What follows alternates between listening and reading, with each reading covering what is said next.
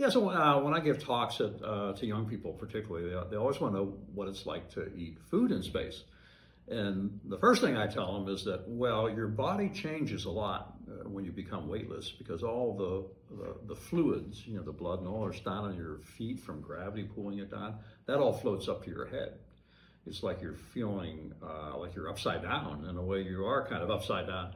And what that does is it swells up your face a little bit and it also puts pressure on your taste buds.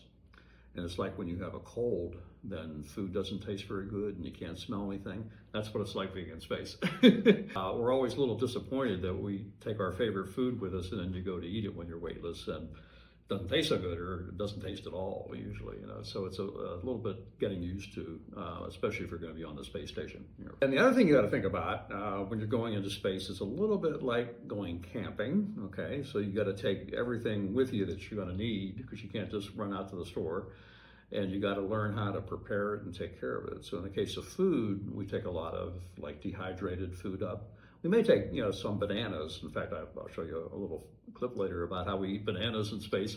Uh, but those things only last for a couple, three days, the fresh foods. So then we're kind of faced with either uh, thawing and microwaving kind of things, um, or taking dehydrated food and then adding some water to it.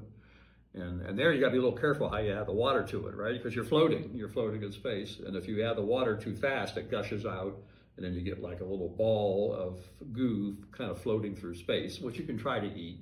Get it. So it's a lot of fun eating, but but one of the disappointments is you uh, you really can't taste the food uh, very much.